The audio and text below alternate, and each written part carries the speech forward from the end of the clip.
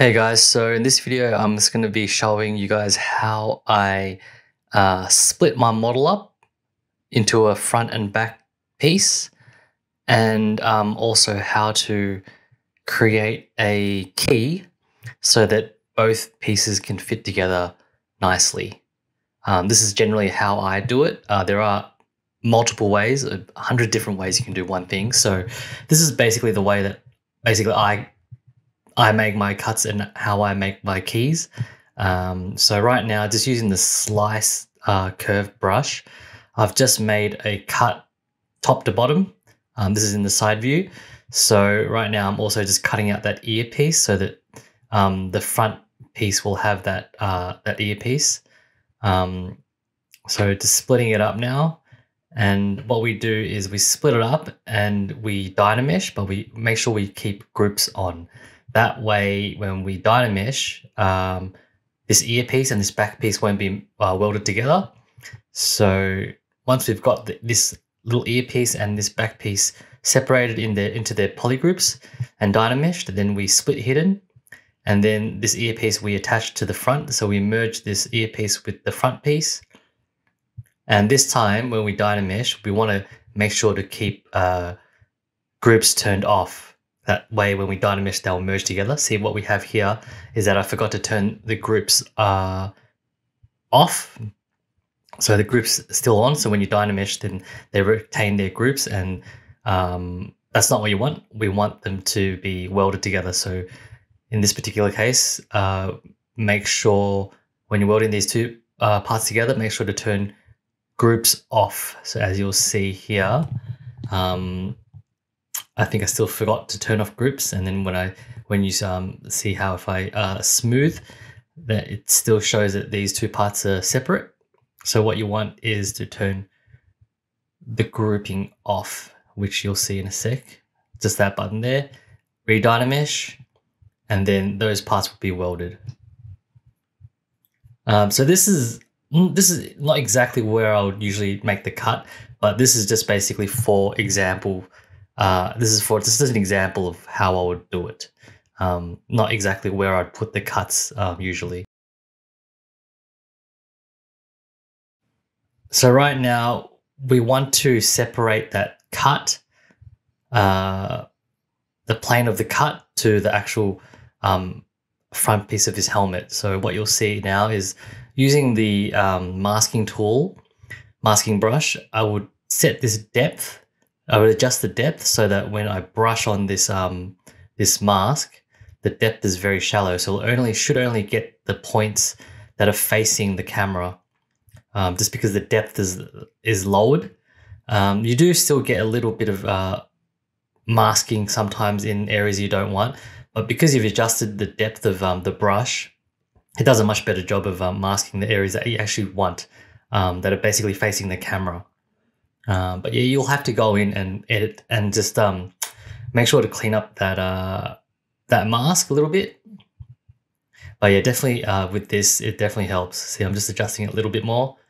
It definitely helps. And a lot of people don't actually know about this um, this tool. It's very useful for say your H polish. Masking is very uh, useful for it. So basically, what we what we want is to mask that area uh, facing the that the basically we want we want to mask the area that is that we made the cut from. So uh yeah, so just going in here and making and masking those areas out and making sure that there's no kind of um, masked areas that we don't want. And you'll see you'll see later uh, that even if you do have some parts that are that are masked that you don't actually want, um, you can just delete it afterwards. So right now, if I once I have once you've created that mask, you just group that mask so it becomes an extra an extra piece of uh, polygroup, and then you hide it and then delete your hidden. Just delete the stuff you don't want. So now that you've got that that piece, you want to just uh, make sure to delete anything else that's that that you don't want. So I just went in there and with my selection tool and just um, selected the parts that I actually wanted and deleted the deleted the hidden. And right now I'm just um, going in and um, uh, just polish by features just to get a nice um, just to get this, to make sure there's no jaggies on the edges, just so we can create a nice um, Z-remeshed model. So once you've done that, this piece here, you want to just halve it.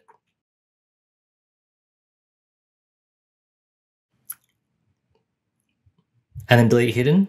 That way you get half, you get half of that um, that cut area.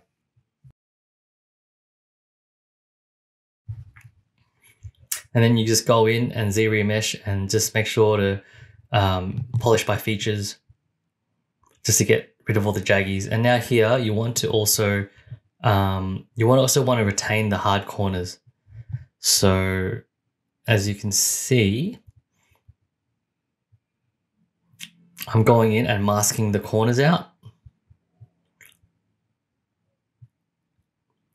Just so when you you mask these corners so that when you polish by features, it won't smooth those areas out, those hard corners out. So right now I've polished by features. Now you've got a nice smooth kind of um, uh, nice smooth topology, and the corn the corners uh, they remain hard, so that um, because they were masked out. And now once you've got that, all you need to do is basically create a, an extrude. So with my Z-remesher, go in and grab a poly, set it to extrude, extrude all polygons, and you just want to extrude it outward. Um, so how how far out depends. I just basically do it by eye. Um, in some cases, if you're using uh, magnets, say like one centimeter magnets, you want to extrude it out quite a bit more. But in this case, just for example's sake, I'm just going to create a key without magnets. So just extruding it out. And then um, what you need to do after you've extruded it out, you need to actually push it in a little bit more as well, just so that when you dynamesh the, this this piece with the front piece, that it makes sure that it's all merged together. Because sometimes if you don't push it into the the mesh a little bit, into the front piece a little bit, um, and you dynamesh, sometimes it won't um, merge properly. It won't weld properly.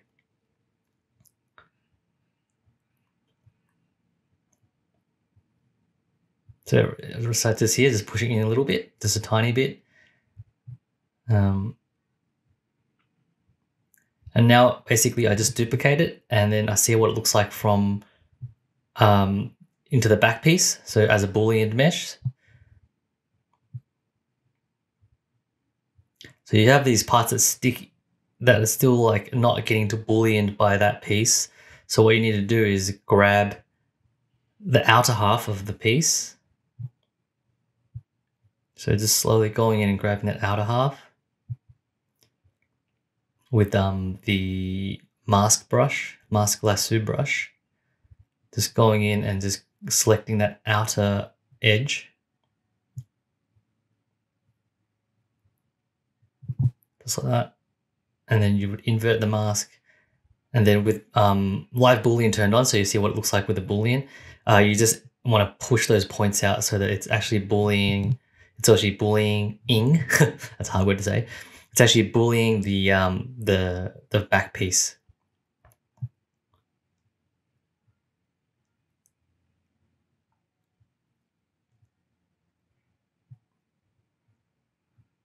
You see at the top there, there's still some pieces hanging off. So you just basically grab, grab those outer edges and just um, push them inward so that it's actually bullying the back piece completely. Once you've done that, duplicate that again, and then uh, you want to delete that first piece that you made, that first back piece, that, that first um, key piece that you made. Because since we um, edited it, you want because you want both sides to be exactly the same. So you just want to go in and delete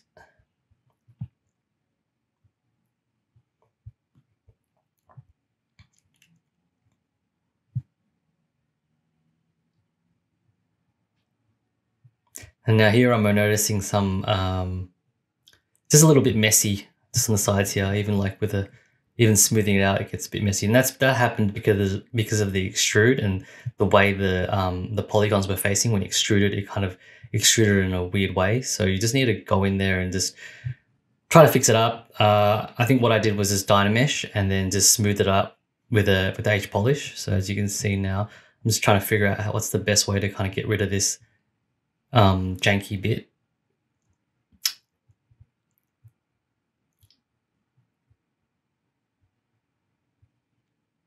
So I tried a, diff- a few different methods, and I think what I just yeah what I ended up with is just going in there dynameshing it and then just smoothing it out with H polish.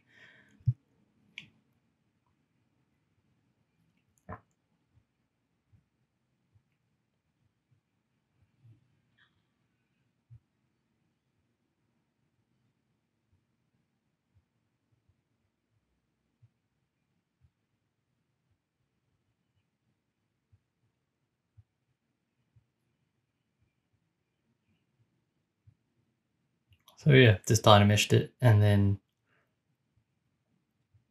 smoothing out a little bit. I mean, it's not, this part's not exactly that important, but just to keep things a bit cleaner, yeah, I just um, go in and just make sure those parts are just smoothed out a little bit.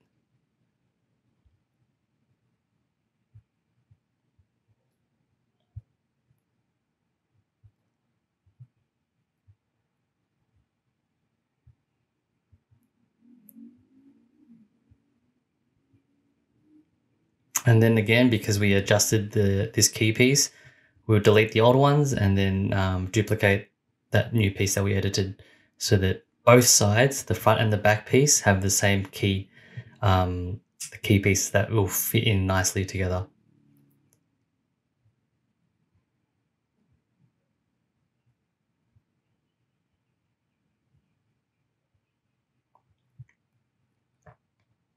So you merge this down, the front piece is merged down with the key piece, and then we just um, basically dynamesh, that's the easy one. And the other piece, the back piece has to be boolean. So this is done nice and um, dynameshed as one piece with the key in there. And then the back piece now, what you have to do is, that's not the back piece without the key, and that's the back piece with the key boolean. And so what we need to do is make boolean mesh. And so that would basically boolean that key piece with the back piece. And so there you have it.